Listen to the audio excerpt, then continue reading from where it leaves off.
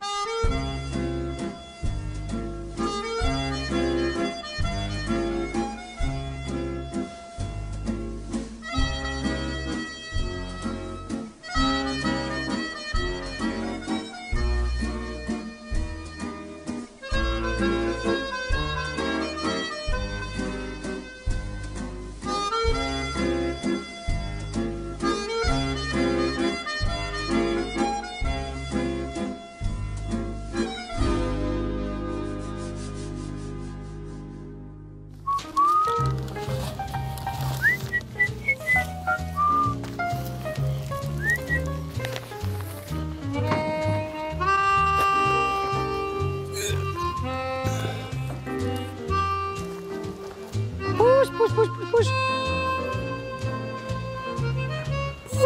Poes, poes, poes, poes.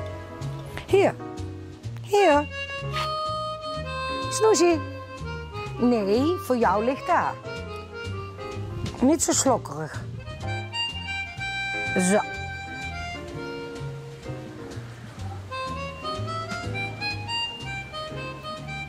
De familie Ekkelboom is een ras-echte kermisfamilie. Hans en Mien zijn met pensioen, maar hun koffietafel is nog altijd het middelpunt van het bedrijf. Hier worden de zaken besproken en, nog veel belangrijker, hier wordt lief en leed gedeeld. Hij je er ook op wil? Ja, ze was eh, ook ziek. Ze had ook... eh, ze zegt, Corrie heeft me nek aangestoken. Ik zeg, ja, maar het heers. Ik zeg, iedereen heeft het. Het is een verschrikking, die verkoudheid. Maar... Oh. Ja. Oké, doei doei.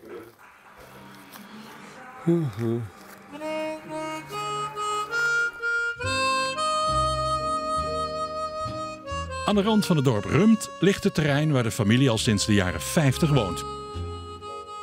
De grond is destijds gekocht door Hans en een van zijn vier broers. Inmiddels woont er meer dan 60 man. Allemaal familie.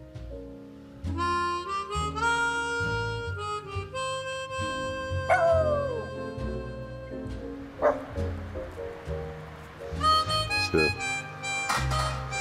Die plantjes moeten ook wel water bieden geven hoor. Hé, hey, ze zijn ook droog.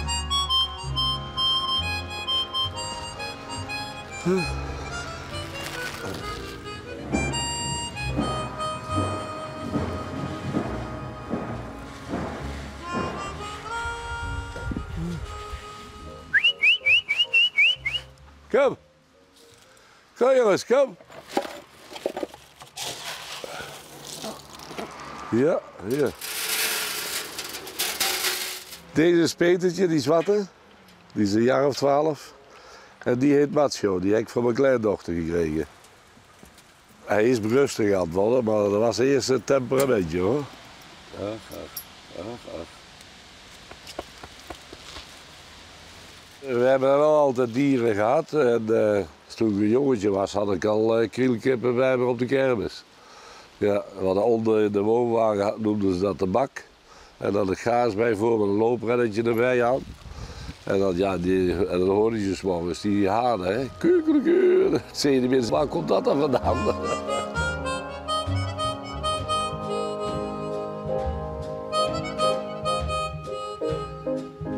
Rump hebben ze een beetje een 60 jaar geleden gekocht, dit trein. En eh, toen waren we nog thuis. Mijn vader was in 61 gestorven. En eh, toen later heeft mijn moeder een stuk erbij gekocht. En eh, een andere broer had een stuk bijgekocht. Dus we hebben, zitten nu een beetje gunstig allemaal met de ruimte. Ja, het groeide allemaal, dus automatisch moet er iets meer plek hebben. Hè. Maar er zitten 68 personen die de kost moeten verdienen, allemaal zelfstandig.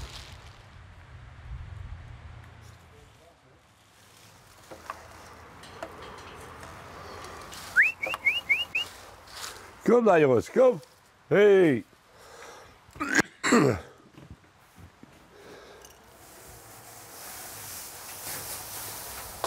De ene dag die had een suikerspin autoscooter. De andere dag die had een pusje en dat is eh, een bankstel noemen ze dat. Eh, dat is een wip. Dus die draait eh, heen en weer links en rechtsom. En dan eh, hebben ze nog oliebollen in de winter. Dan, mijn twee jongens ook. Die hebben een autoscooter te man. En dan hebben ze die ene en een pliep. En die andere jongen doet dan veel repareren en maken materiaal. Als je iets met tegenzin doet, zei mijn vader altijd, dat haalt niet uit. Dat werkt averechts. Hij zegt, je moet met plezier doen, dan word je ook niet moe. Dat is ook het verschil met de uren maken. We hebben dus wel eens dat we de hele dag open zijn geweest. S'nachts afbreken, overrijden en dan weer draaien. Dus dan zijn we tweemaal 24 uur nog in bed geweest. En toch mogen de mensen vriendelijk te woord staan. Wij zijn altijd blij. En dat snappen sommige mensen niet, want dan zeggen ja, wij zijn altijd blij. Ja, als je verdient. Ik zeg nee, het gaat erom, als we overgereden zijn, zijn we blij. Dat je heel erg over bent. We zijn blij als we opgebouwd zijn. Maar het allereerste zijn we blij als er een gunning gegeven wordt door de gemeente. Want dat is het belangrijkste. Dan kan je zeggen, ik heb brood op de plank komen. Maar als je geen gunning hebt, en dan mag je nog zo'n mooi spul hebben, dan schiet het niet op. Tijdens het kermisseizoen van maart tot oktober reist de familie met haar attracties door het hele land. Een doorlopende cyclus van opbouwen, draaien, afbreken en reizen. Corina, dat is de dochter van Hans en Mien, is in Beneden Leeuwen neergestreken. Een kermis waar de familie al jaren komt.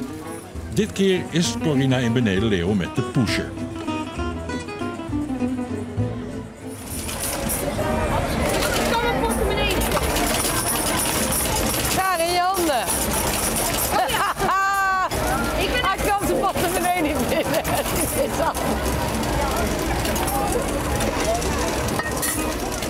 Kost deze eenhoornslijn?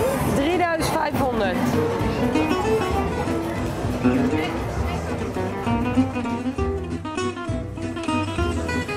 Ik kan mijn lippenstift niet vinden.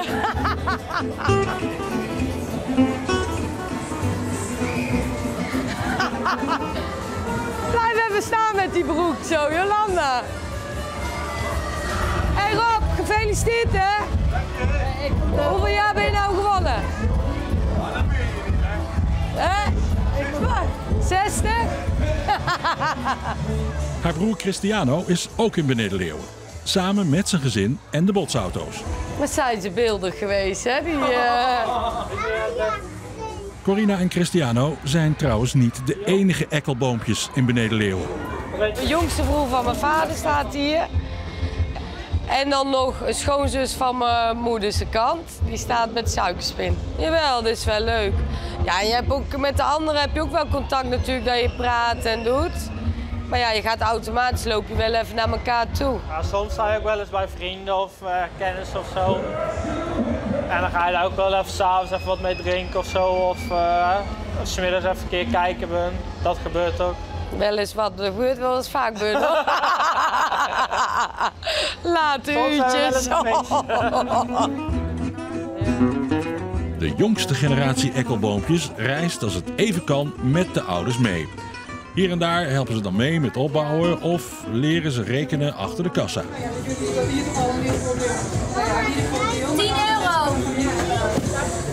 Oh nee, Nee, 10 euro. 10 euro. Ja, twee extra. Ja, moet nog 10 euro teruggeven. Oh ja.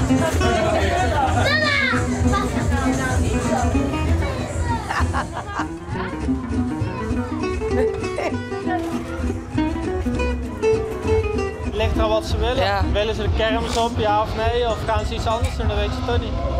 Misschien wel, ja, die oudste wil profvoetballer worden, dus ja. Als hij het wil, dan mag hij het. En als hij het niet wil, dan niet. Hij hoeft het niet. Het is wat ze zelf willen.